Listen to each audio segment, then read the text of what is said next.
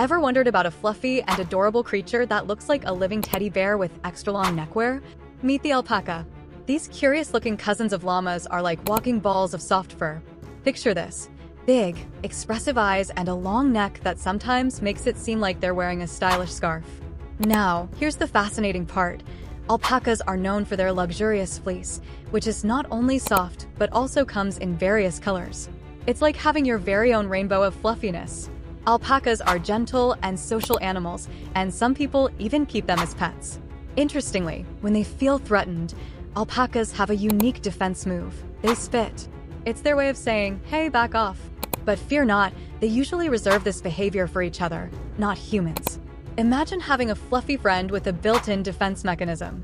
What do you think about alpacas as pets, or have you ever encountered these gentle spitters?